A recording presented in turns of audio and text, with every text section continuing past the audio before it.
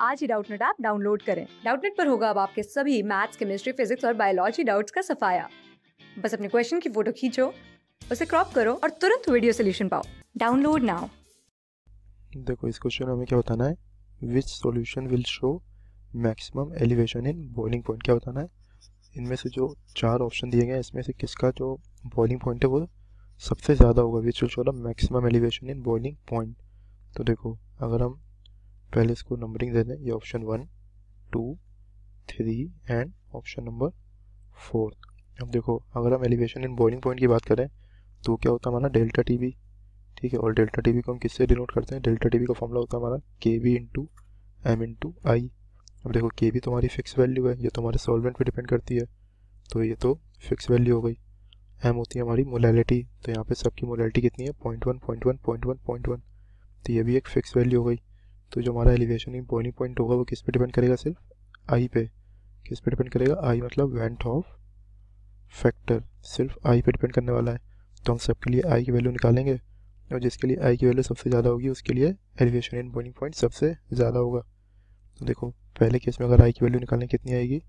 ये हमारा के सी एल तो के सी एल कैसे ब्रेक होगा? के प्लस और सी एल माइनस में। इस तरीके से आयनाइज होगा तो इसमें टोटल नंबर ऑफ़ आयंस कितने आए? टू तो इसके लिए आई की वैल्यू कितनी आ जाएगी हमारी? टू सेकेंड एग्ज़ाम्पल की बात करें तो इसमें क्या है हमारा? Point one molar B S L two अब बी एस एल टू की बात करें अगर तो बी एस एल टू हमारा कैसे डिसोशिएट होता है? बी ए टू प्लस और टू सी एल माइनस ठीक है तो इसमें हमारी एन की वैल्यू कितनी आ जाएगी? टू और वन थ्री ठीक है, इसमें एन की वैल्यू कितनी आ गई? थ्री तो आई की वैल्यू थ्री है इस केस में. अब आते हैं थर्ड एग्ज़ाम थर्ड ऑप्शन पे तो थर्ड ऑप्शन में क्या गिवन है? Point one molar F E C L three F E C L three अब F E C L three हमारा कैसे डिसोशिएट होगा? F E three plus and three C L minus तो अगर इसमें हम आई की वैल्यू निकालेंगे कितनी आ जाएगी? थ्री प्लस वन फोर तो इसमें आई की वैल्यू आ गई फोर और लास्ट ऑप्शन हमारा क्या है? लास्ट ऑप्शन भी देख लेते हैं। Point one molar F E two S O four whole thrice F E two S O four whole thrice देखो इसका आयोनाइजेशन होगा तो कैसे डिसोशिएट होगा ये? Two F E three plus और three S O four two minus ठीक है? कैसे डिसोशिएट होगा?